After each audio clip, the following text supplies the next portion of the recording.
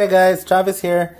Um, I realized that I didn't have this online quiz uh, uh, embedded on my YouTube videos because I was looking for it, and I said, you know what? It's about time I create a new a new uh, online quiz UH video, anyway. So here I am. I'm creating a video.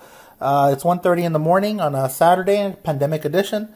Uh, but it's okay. It's all good. I mean, this is what I want to be doing at this time. Uh, I feel like I got plenty of energy left in me because I took a nap earlier.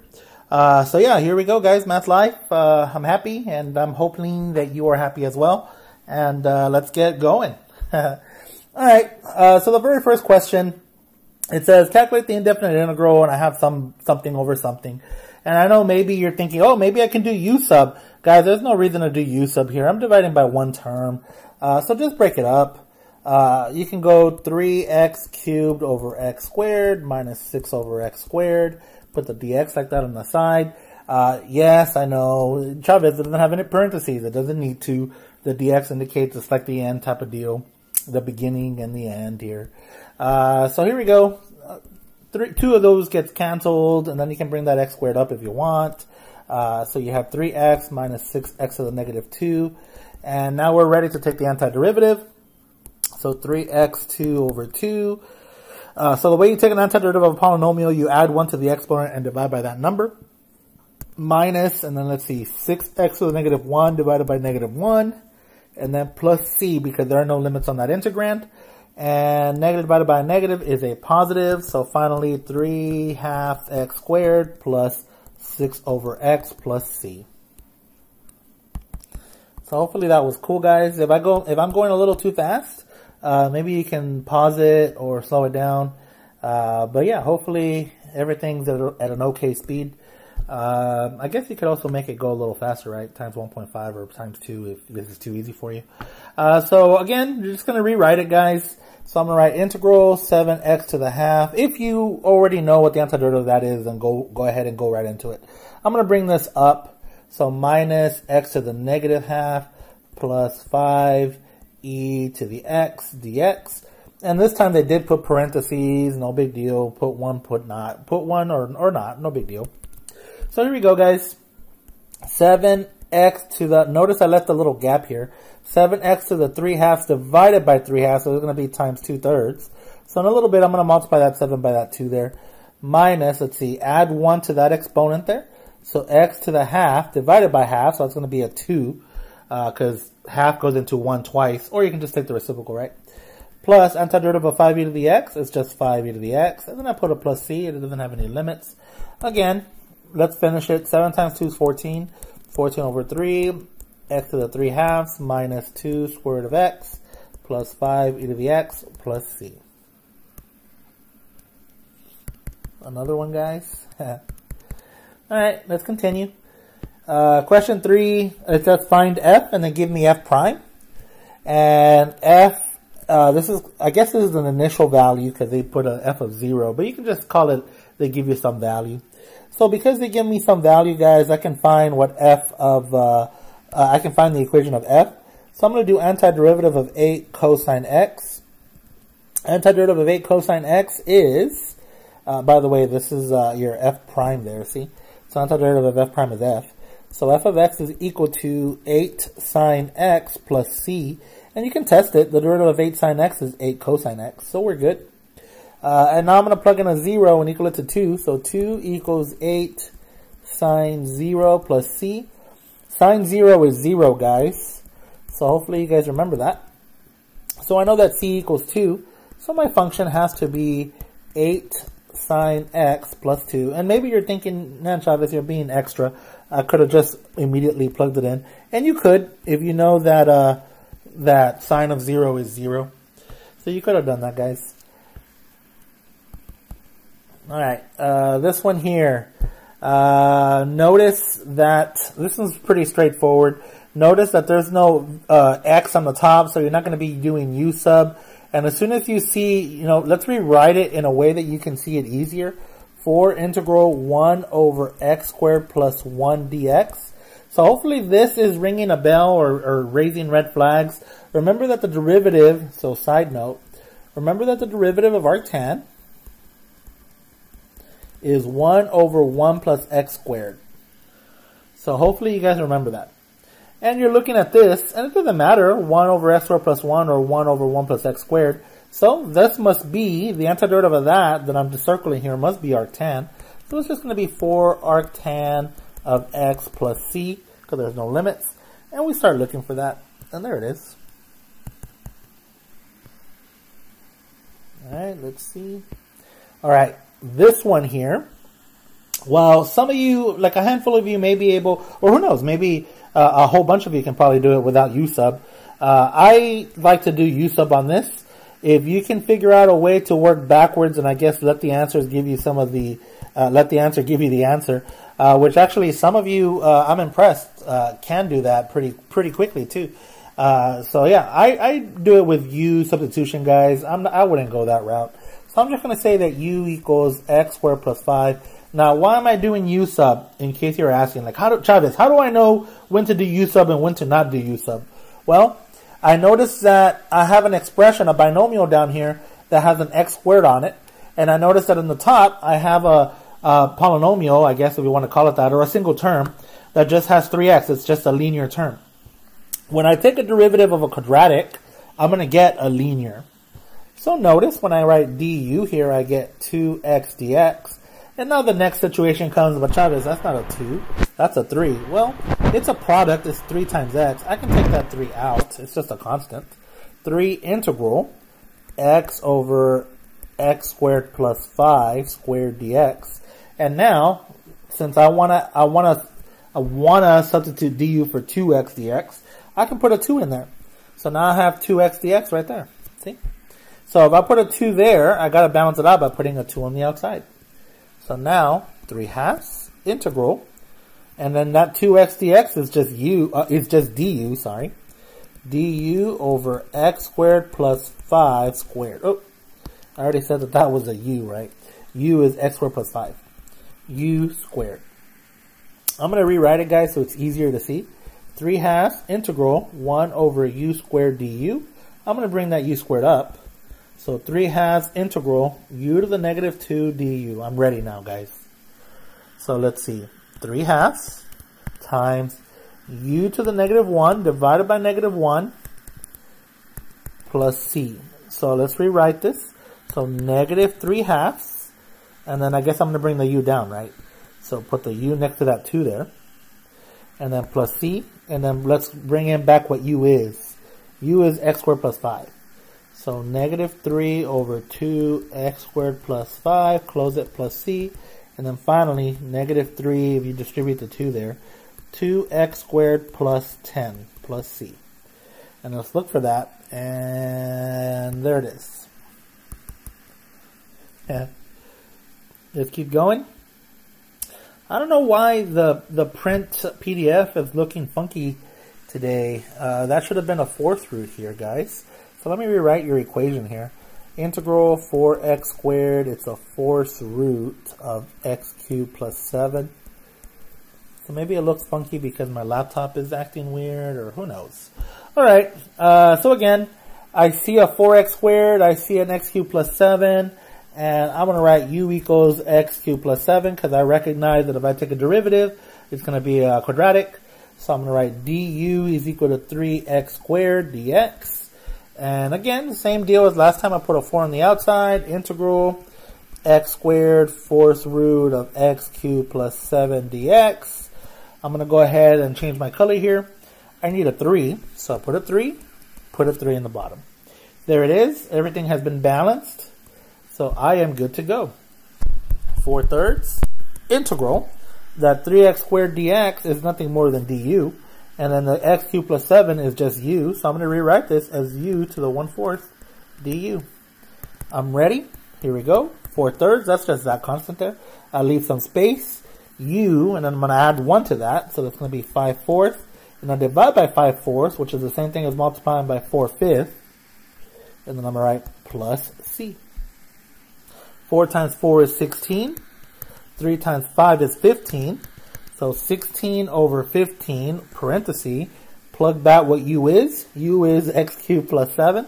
So I type, or I write, x cubed plus 7, close it, put the 5 fourths in there. and then I put plus c. And then I start looking for that, guys. So 16 over 15, x cubed plus 7 to the 5 fourth. There it is. All right, let's keep going. Ooh, this one. All right, so this one has a little algebraic trick. It's not even that extreme. Again, you notice that you have a linear in the in the top, a linear uh, uh, equation, 12, 12x plus 18. And in the bottom, you notice you have a parabola. And I'm going to take a derivative and check it out. So I'm going to go u equals x squared plus 3x minus 1. So du equals 2x plus 3. Ooh, I have two terms. If you want to put this in parentheses with a dx like that, because, side note, side note, remember what we're really doing. We're taking the derivative of u with respect to x. So du dx is 2x plus 3. And then we're treating the du dx like a fraction here. Times dx times dx. So du equals 2x plus 3 dx. Which actually, okay, now we're back, guys. Which actually, we actually have, if you factor out a 6 on that. Look at that. OMG. So let's rewrite it, guys. I'm going to take this on the outside of this integrand. So I'm going to write 6 here, integral, and I'm going to write 2x plus 3 over square root of x squared plus 3x minus 1 with a dx on it. Does that make sense to everyone?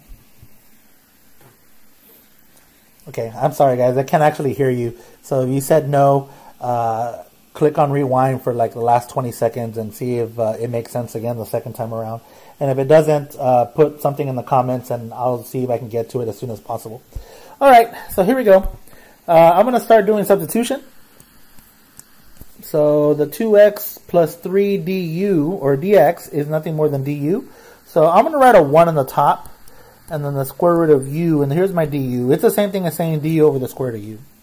And now I can rewrite this, guys. 6 integral is u to the negative half du. And here we go. So I'm going to take my antiderivative, 6, and then I'm going to add half, uh, add 1, sorry. So u to the half, I'm already saying my answer there. And I'm going to divide by a half, so it's going to be a 2 there. So there's my little dot times 2, then plus c. So rewritten, that is 12 square root of u plus c. And remember that u was this uh, expression here, this trinomial. Uh, so 12 square root of x squared plus 3x minus 1 plus c. And I look for that, and there it is. Alright guys, so this one is a definite integral. The a is a constant, and or we're, we're treating the a as a constant. And uh, we're integrating with respect to x, and I see that I have a linear term on the outside of the square root, and I have a, a quadratic term on the inside of the square root. So I'm going to do u substitution again. I'm just going to say that u is equal to a squared minus x squared. So du is equal to negative 2x dx. Uh, so what I do, again, you just put the 9 on the outside. So I'm going to write 9 integral. For now, it's still 0 to a, right? Because I haven't changed anything yet. x square root of a squared minus x squared with a dx on it. So what I need is a negative 2, so negative 2. And I balance it out by putting a negative 2 on the outside. So now we're ready. Let's see, negative 9 halves integral. And I'm not going to put limits yet. Negative 2x dx is du. And a squared minus x squared is u. So square root of u du. Now remember, that's just u to the half. Okay, now let's see what our limits are. When, when x is 0, a squared minus 0 squared, that is just a squared. So I'll put a squared. When x is a, a squared minus a squared is 0. So I'll put a 0 on the top. I already know what I want to do. I am going to flip my limits here. So I can turn it into a positive. So 9 half integral 0 to a squared u to the half du. That's a half there. It just came out funny. It just came out funny. And uh, so now I'm going to take an antiderivative of that, guys. So I'm going to write 9 halves. And then I leave some space. And then I'm going to write u to the 3 halves divided by 3 halves. So that's going to be 2 thirds. Uh, and then plus c. I see that the 2's cancel out. 3 goes into 9 3 times. So I have 3 uh, u to the 3 halves. Oh, and there is no plus c. Silly me. That kind of rhymed. there's no plus c because there's limits. So erase that guy. I guess he would have been out when I did my antiderivative here. Uh, do not go back to the original limits. You have new limits here. Those are the limits you're going to use. Uh, both terms are going to have a 3. I guess it doesn't matter. I'm going to factor out that 3 here, and I'm just going to do, uh, let's see, a squared to the 3 halves minus 0 to the 3 halves. Okay, so whenever you have an exponent raised to an exponent, guys, you just multiply those two dudes. So a squared times a to the 3 halves, that's just a cubed. And you still have that 3 there. So you're going to have 3a cubed. Yay. Alright guys. Uh, I don't think you necessarily need u substitution on this one, but you can definitely use it. No one's going to stop you. So if you use u sub, you can say u equals 2x plus 2, du equals 2 dx. I don't have a 2 dx, put a 2 there, put a half on the outside. Uh, so now you do. So 1 half integral of cosine u du. And then the antiderivative of a cosine is just sine, right? So 1 half sine u plus c. And then plug back what u is. So 1 half sine 2x plus 2 close parenthesis plus c. The most common mistake here, guys, is that you guys don't put a parenthesis and just write sine 2x plus 2. Uh, make sure that you put 2x plus 2 inside the parenthesis because the argument is 2x plus 2. The argument is not 2x. So there it is. And then we look for that answer. All right. Uh, this one again, uh, you don't necessarily need u substitution, but it definitely helps. Uh, if uh, you know, like no one's stopping you. There is a free country. We're in America. You can do whatever method you like. Uh, so if you don't want to do u sub, go ahead and just take the antiderivative immediately. Recognize that in the inside you have 5x plus 5. It's not 5. Uh, the derivative of 5x plus 5 is just 5. Put a dx on it. So 5, 1 5 on the outside to balance it out. 1 fifth times 5 is 1, so I haven't changed anything. So here we go. Integral. I have a 1 fifth on the outside. Secant u tan u du. Hopefully the secant u tan u is ringing a bell. Antiderivative of secant u tan u is just secant. Why? Because the derivative of secant is secant x tan x. So I write 1 fifth secant u plus c. I remember what u is. u is uh, 5x plus 5. So secant of 5x plus 5 plus c. And then I look for that. Alright guys, uh, let's go to the next one. So on this one, it's definitely going to be u sub. And in case you're wondering what u is going to be, well, uh, you could make u sine x dx, but then when I take the derivative of sine, you get cosine x dx, and you're going to be left with an extra cosine because I have two of them there. It's cosine squared, so it's cosine times cosine. So u is going to be cosine x, because when I do the derivative, look at that, sine x dx, negative sine x dx. I don't have a negative sine x dx at the moment, guys, but I can put one in there. And if I put one in there, I put a negative on the outside. So now I do. I guess I could have written the negative in front of that. So if you don't like the way that looks, I can just go do, do, negative. So there's my negative there. That's my negative. So here we go. Rewriting it, guys. Negative on the outside, integral. Remember that u is cosine and du is negative sine x dx. So I'm just going to write u squared du. And now I'm ready. So negative, that negative is that one. Antiderivative of u squared is u cubed over 3. I put a plus c on it. I remember what u is. u is awesome.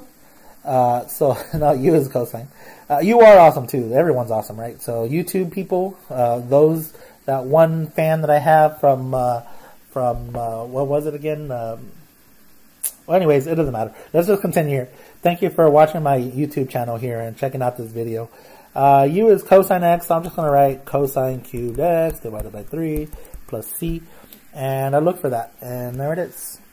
It's just written a little, you know, they put the one-third in the, in the front. No big deal. Alright, I like these type of problems here, guys. I see that the exponent is a 4x squared, and I notice that in the in the front I have a, a product, and it's x times that. So immediately you can just do u sub. Uh, so I'm going to say that u is 4x squared, and then du is going to be 8x dx. So again, you don't have an 8 in there, so you're going to put an 8, and then you put a 1 8 on the outside to balance things out. So I got everything balanced. So 1 8 integral. The 8x dx is du, but put it in the very end, please, because that's how you signify the end of this integrand. e to the u du. And you're done. Antiderivative of e to the u is just e to the u. So 1 eighth e to the u plus c. Plug in what u is. 1 eighth e to the 4x squared plus c. And we start looking for that. Awesome, guys. Let's keep going. This one here, it can be hard, but what you got to notice is that the answer choices are all inverse. And as soon as you see that, uh, they're all inverse trig. So as soon as you see that, I see a square root symbol. There's no way it could be arctan. Remember that the antiderivative of arctan has to look like 1 over 1 plus x squared or u squared. So there's no way it could be arctan. So delete those two. Those are the obvious worst ones. So now all you got left is arcsine. So it's going to obviously be an arcsine one. In case you don't remember, side note, the derivative of arcsine, I'm going to write arcsine x there, is 1 over the square root of 1 minus x squared. Uh, if they write it arcsine of u, it's 1 over 1 minus u squared times du dx. No big deal. So, I'm going to rewrite this integrand, guys. Integral e to the x over 1, uh, square root of 1 minus, and I want to have something squared there, so I'm going to write, let's see, 2 e to the x being squared like that, dx. And now, if I square it, 2 times 2 is 4, and e to the x raised to the 2 is e to the 2x. So I'm good. So I'm going to set that u is going to equal 2 e to the x there. So then du is going to be 2 e to the x dx. I don't have a 2, so I'm going to insert a 2. So when I do that, I put a half on the outside. And here we go, guys. 1 half integral 1 over square root of 1 minus u squared du. And now it just becomes just antiderivative, straightforward. 1 half antiderivative of 1 over square root of 1 minus u squared. That's just arcsine. So 1 half arcsine of u plus c. And then I just insert back what u is. 1 half arcsine of 2e to the x plus c. And then I look for that. And there it is. Alright guys, hook it up with a, with a, thumbs up if you enjoyed this video, if uh, you thought this was informative. I guess you can give it a thumbs down if you'd like, but I, I would really appreciate a thumbs up.